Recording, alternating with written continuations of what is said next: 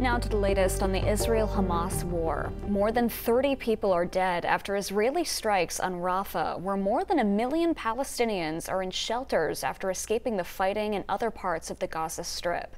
According to Israeli Prime Minister Benjamin Netanyahu's office, the country's military has been ordered to come up with a plan to evacuate Rafah and destroy four Hamas battalions deployed there.